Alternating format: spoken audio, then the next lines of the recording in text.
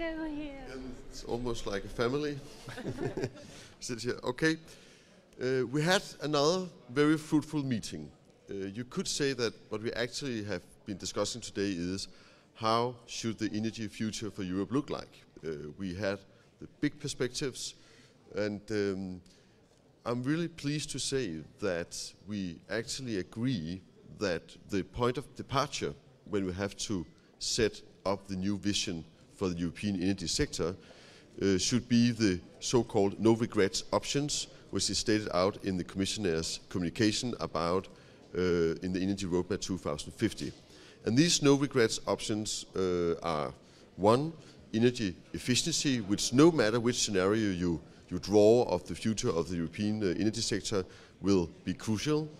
It's a larger share. Secondly, it's a larger share of renewables towards 2030, because 2030 was our focal point on our way to 2050. And thirdly, it is an uh, expand and strengthen of the infrastructure of Europe. These three no regrets options will form the platform.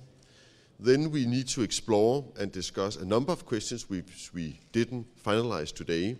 One being how should the balance be between national strategies and EU planning?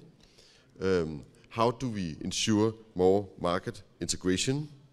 How should the architecture of, of new um, deals on this uh, look like at all?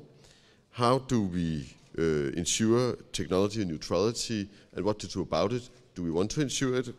And finally, how do we uh, finance developments and share burdens among the member states? All these questions will have to be solved out and we will, we will definitely not finish that work uh, during the Danish presidency, but I'm quite confident that we will be able to take a first step uh, in our council conclusions in June because we have prepared a good ground today and have a very constructive dialogue. And with that, I can say that I have been very satisfied with the last 24 hours. We have had a really good atmosphere and environment among the ministers, and we have achieved a much better understanding on all the three items we have been discussing. I will now leave it to Mr. Commissioner Oettinger maybe to add a little on this, please. May I give some remarks from my side? Um, these two days uh, and this informal energy council, we had two important points and we come forward. We have, I think, um, some good progress. Yesterday, uh, with a debate, a general debate uh, to our energy efficiency directive. When I arrived, I was not so optimistic. Um, uh, I knew there are some different positions, uh, but the debate yesterday under your guidance was really constructive. There was no blockade at all, and there is a broad common sense to um, come to a solution as soon as possible and to be ambitious because energy efficiency is key for our um, European energy strategy. Now we go back to Brussels and we have the trialogue um, and my hope is to come to a solution under his presidency means end of June um, in a pragmatic but um, ambitious manner, knowing and realizing uh, this 20 uh, percent um, target.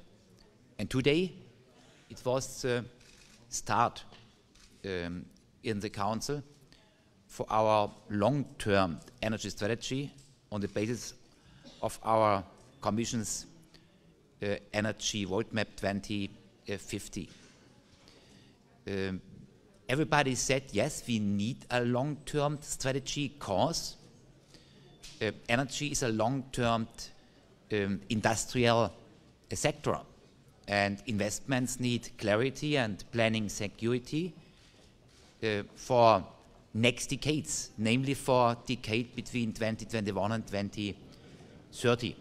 And so the idea uh, to say we develop an energy roadmap 2050 and we come to a concrete outlook uh, for Europe what is our energy future, our energy industry, our energy policy beyond 2020 is accepted.